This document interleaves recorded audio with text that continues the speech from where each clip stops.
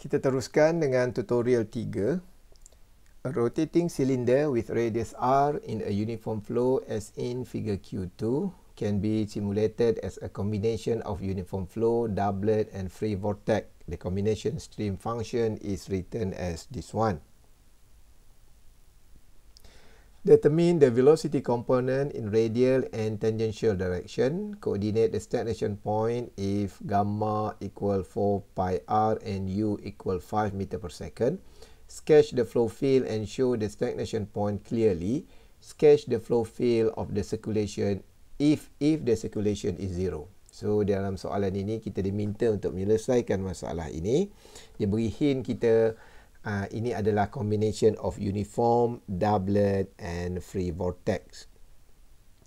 So di sini triknya ialah walaupun diberi kita uh, basic equation yang ini, pelajar boleh terus sahaja menggunakan rumus berkenaan dengan rotating cylinder.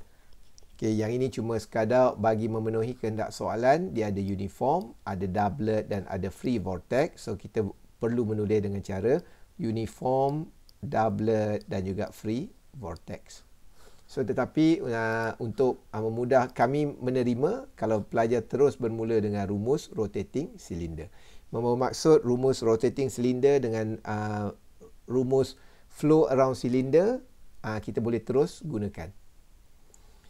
So jadi maksudnya kita terus sahaja menggunakan rumus uh, cylinder with radius A, rotating cylinder uh, with radius A, kita boleh menulis seperti ini.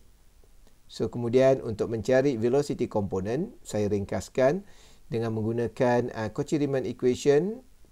Uh, diharap pelajar dapat menunjukkan step by step bagaimana pelajar membezakan rumus ini dan akhirnya jawapan akhir adalah ini sebagai UR dan ini adalah U theta. So sebahagian uh, telah saya tunjukkan di dalam nota, pelajar boleh membuat latihan di situ. So kemudian kita perlu untuk mencari uh, stagnation point sekiranya diberi gamma 4 pi r dan u sama juga dengan 5 meter per second. So ideanya ialah apabila kita membicarakan tentang stagnation point, kita mesti faham kedua-dua jenis had laju adalah sifar. So jadi oleh itu di uh, di peringkat soalan sebelumnya kita telah membuat uh, derivation berkenaan dengan UR dan U theta. Okey, pada soalan seterusnya kita samakan nilai had laju tersebut dengan kosong. Oleh itu UR sekiranya sama dengan kosong, kita akan dapat nilai R sama dengan A. Maksudnya nilai jejari sama dengan A. Dan U theta di sini sekiranya sama dengan kosong, kita boleh dapat sin theta sama dengan negatif 1 per 5. So kita masukkan nilai uh, gamma di sini dan U juga kita masukkan di sini. So kita mendapat uh, sin theta adalah negatif 1 per 5. Oleh itu kita perlu melukis kedudukan tersebut. So kita akan dapati bahawa theta adalah 191.54 darjah dan theta kedua adalah 348.46 darjah. Dan sekiranya kita melukis, kita perlu melukis dengan tepat iaitu kita perlu melukis bulatan berbentuk bulat kita perlu nyatakan stagnation point berada di atas bulatan. Itu pertama. Dan seterusnya kita perlu uh, melukis garisan aliran mengenai uh, apa nama tu titik S1 dan ia keluar daripada titik S1. Dan kemudian kita melukislah aliran yang lain tanpa memasuki ataupun tanpa cross mana-mana streamline yang lain. So itu yang akan membawa markah penuh. Ada pelajar dia dia melukis dalam keadaan tak pasti ada kejap gini, kejap dia tulis sini sikit, lukis pun main antara kena dengan tak kena, selalunya tidak ada markah. Okey, saya harap pelajar boleh melukis dengan tepat.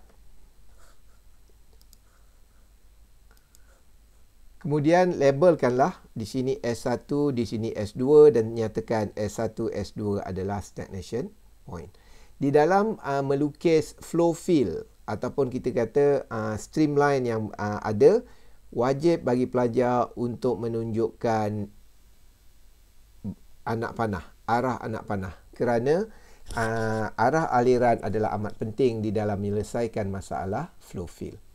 Okey, so kemudian uh, sekiranya circulation sama dengan zero, so maksudnya pelajar boleh lihat equation ini, sekira nilainya gamma sama dengan kosong, oleh itu kita akan dapati bahawa nilai sin theta akan sama juga dengan kosong, uh, nilai theta akan sama dengan kosong dan uh, 180. Jadi seperti yang sama kita melukis titik uh, stagnation point di atas bulatan dan kita akan lukislah anak panah yang melalui di situ dan melukislah flow yang lain. Okay, so saya harap pelajar dapat melukis dengan baik.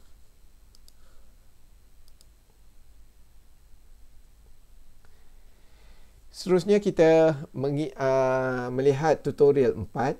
Takrifkan vorticity dan edaran dan tunjukkan bahawa edaran boleh ditulis sebagai gamma 2 pi omega r square dengan omega adalah had laju sudut radian per second dan r ialah jejari.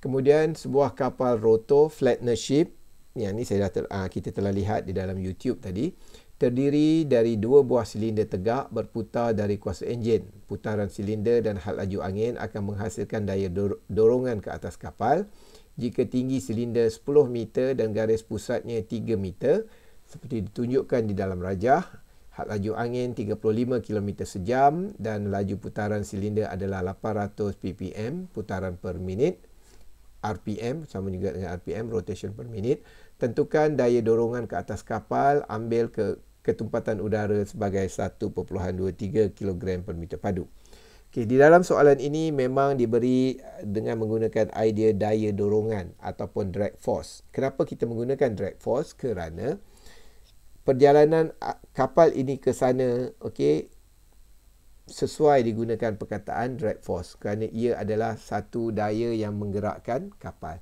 Walaupun penggunaannya adalah penggunaan rotating cylinder. So tetapi sekiranya kita melihat daripada atas top view kita akan dapati bahawa rotating cylinder adalah bulat. Oleh kerana ia berputar pada arah yang tertentu akan wujud perbezaan tekanan dan perbezaan tekanan itu akan membuatkan lift force. So maksudnya jika kita mengira di dalam uh, rotating cylinder daripada top view, pandangan daripada atas, daya yang wujud di sini akan kita namakan dia lift force kerana ia bertindak pada paksi Y. Tetapi daya tersebut sebenarnya akan bertindak pada arah ini menyebabkan untuk kes kapal ini kita akan mengatakan daya ini adalah sebagai daya dorongan ataupun drag force.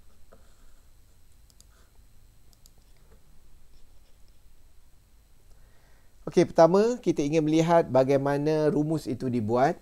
Jadi kita anggaplah kita ada satu uh, molekul bergerak dalam keadaan putaran di sini dan kita kata ia bergerak dengan had laju omega, maknanya radian per second yang tertentu.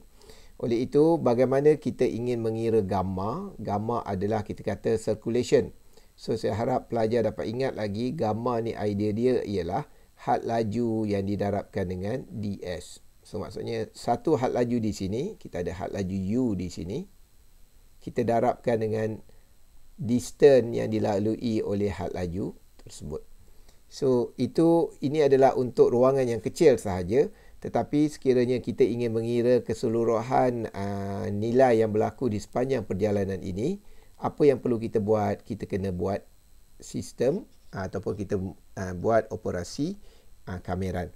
Okey, so kalau kita ada jumpa kameran ada tanda bulat di situ, membawa maksud kameran tersebut adalah kita katalah kameran uh, tertutup ataupun kameran yang kita kira daripada satu point sehinggalah ia kembali kepada uh, apa nama tu satu point yang sama. Okey, so maknanya, mak, maknanya dalam close loop. Okey. So uh, tak kisah sangat kita buat sahaja. So jadi kita kata kita buat kameran oleh kerana ia close loop, kita beri dia nilai limit kosong hingga 2 pi mewakili keadaan bulatan. Okey.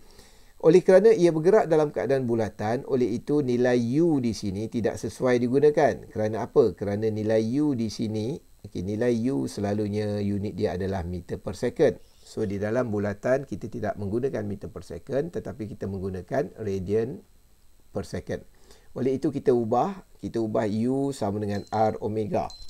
So So di dalam R omega di sini kita gantikan di sini. Dan nilai ds di sini kita gantikan dengan r di theta. Kerana kalau dalam bulatan sekiranya kita ingin mencari satu ruangan yang kecil di sini memadai untuk mengira sebagai r dan d theta. So jadi kita kata rumus kita telah berubah menjadi seperti ini. R omega r d theta dan sekiranya kita kamirkan uh, terhadap d theta so kita akan menjadi r kuasa 2 omega theta So theta ni maksudnya adalah angle. So angle kita adalah kosong hingga 2 pi. Kita boleh menghasilkan jawapan 2 pi omega r kuasa 2.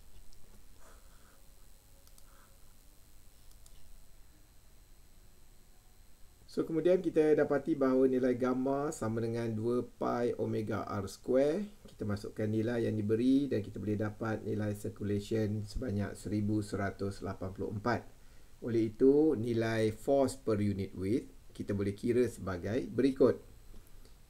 Rho U gamma, kita masukkan nilai ketumpatan udara dan kita masukkan nilai U di sini. Cuma nilai U di sini perlu dimasukkan nilai U perlu dimasukkan menggunakan unit meter per second. Oleh itu sekiranya kita uh, menggunakan kilometer per hour ataupun per jam, kita perlu tukar kepada meter per second.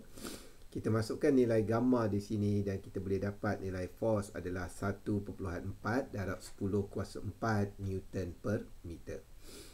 Tapi perlu diingat, uh, rumus ini sebenarnya hanya dalam keadaan satu unit lebar. Oleh itu, sekiranya kita mempunyai dua batang tiang dengan setinggi uh, uh, setinggi 10 meter apa kita buat? Kita kena darab dua kali kerana dua batang tiang dan kita akan kena darab 10 kerana tingginya adalah 10 meter. Oleh itu total force yang terhasil daripada uh, sistem tersebut ialah 2.8 darab 10 kuasa 5 Newton